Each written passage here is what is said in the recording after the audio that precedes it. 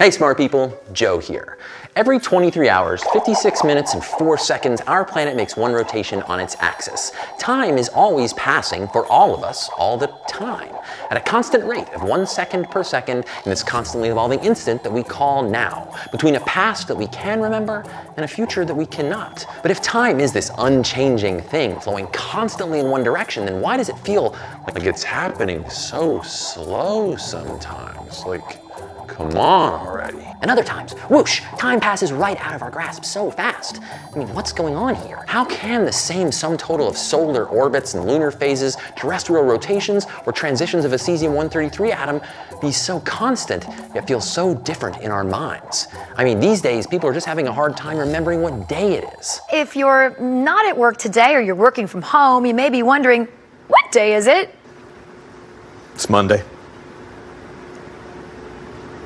What is it about COVID 19 that makes March feel like it was approximately 4.7 years ago?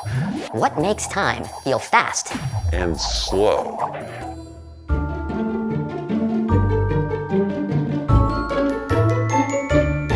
This is a stopwatch, and when you hear the bell, it's going to start. I want you to close your eyes, count off seven seconds in your head now.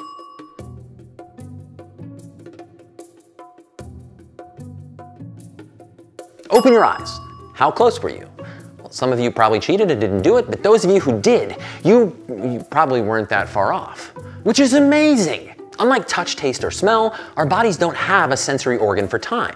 We do have an internal biological clock, but your body's timekeeping is tuned to circadian rhythms, the broad patterns of day and night.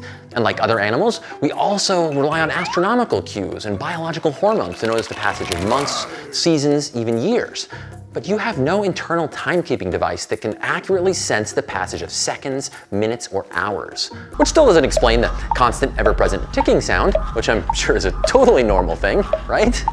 well, although there is no actual clock inside your brain, we now know that how we perceive the passage of time can be stretched or slowed. And scientists once tested this by dropping people off a 15-story building. Let me explain. Have you ever heard someone say that a car accident or some other life or death situation felt like it happened in slow motion? It makes you wonder if our brains are able to suddenly reach in and stretch out a second to give us conscious access to smaller windows or slices of time, like milliseconds, when we're super freaked out. Experiencing bullet time, like in The Matrix, when we're scared, might let us react better or escape to safety. So to test this, scientists dropped people from 150 feet up. They had harnesses and a safety net. Doesn't feel very realistic to me, but you gotta be safe, I guess. During the free fall, each person was asked to look at a display with flashing numbers.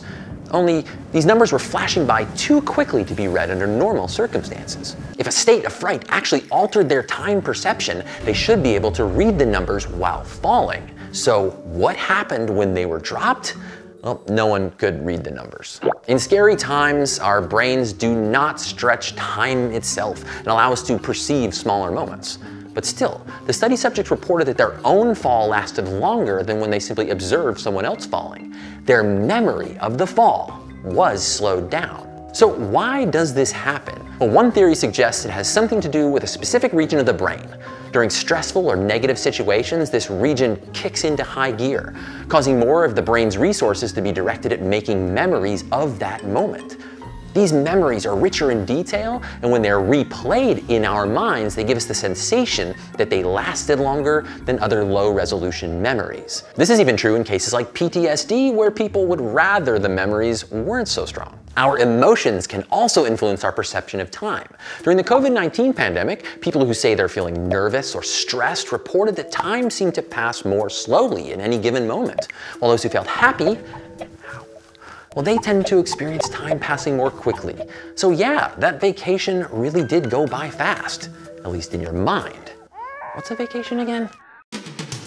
But something interesting happens when we look back on these memories later. How is it September already? March feels like yesterday. We've all experienced that in some way, right?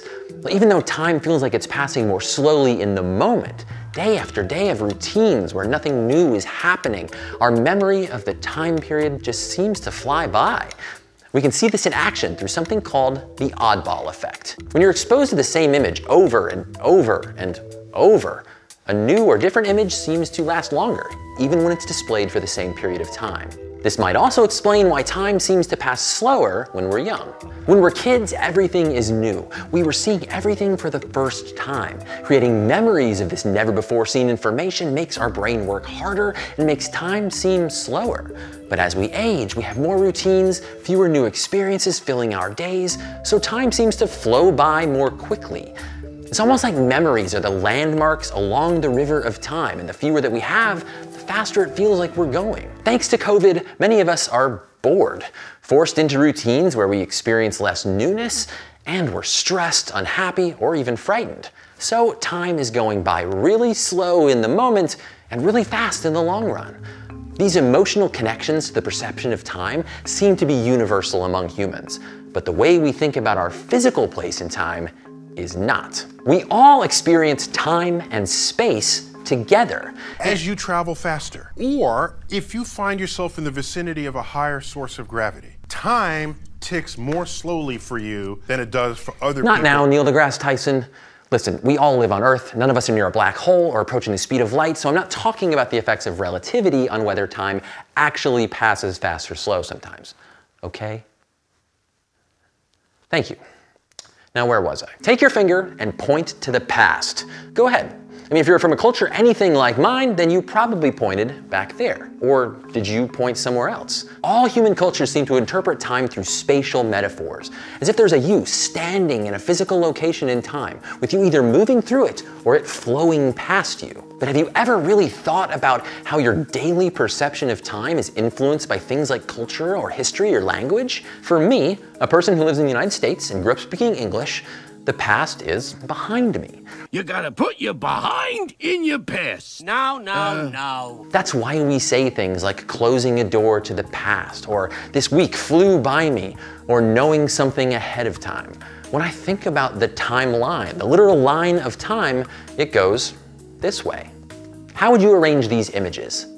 Speakers of languages written left to right will order them like this while speakers of languages written right to left, like Hebrew, often arrange chronological events in space like this. And people who speak Mandarin Chinese, typically written top to bottom, sometimes refer to the past as above and the future as below. In Vietnamese and some South American cultures, the past, the before time, which is known to us and seen clearly in our memories, is in front of us. And the future, obscured and unknown, is what's behind. The Yupno people of Papua New Guinea orient their place in time with the contours of the land. The future is uphill and the past downhill. Look at these dots. The length of time between the flashes is actually the same, but this larger space makes it seem like the third dot takes more time to show up. No matter how we do it, or even if we realize it, we all make some link between space and time, and this can vary depending on where we're from. There is still a lot that we don't know about the connection between time passing in the physical world and time passing in the brain. But we're all living through a massive global human experiment right now in this pandemic about how our perception of time can change based on our experience in the world. In the eyes of physics, the difference between the past, present, and future might just be an illusion. But for us, a conscious animal with a mind, the journey through the past, present, and the future is remembered and experienced in ways that even Einstein would find mysterious. Stay curious. Hey guys, thanks for watching this video. Hope you're doing great. Great? Great, what does that mean? Hope you're staying safe, staying sane. Hope you're doing great. Wait. And keeping track of time. I do it with a watch, it, it, helps. As always, we could not make this video without the support of our patrons. Check out our Patreon page where you can get some behind the scenes content, cool merch announcements. We're doing a lot of fun stuff over there. It's a great community and we really appreciate everyone's support. And if not, we're just glad you're here learning with us this time. And see you in the next video. Want some advice? Here's something worth remembering. If you want to make good time doing something, focus as much on the good as the time. You can, you can put that on a coffee mug or something. Jeremy Bearimy, baby.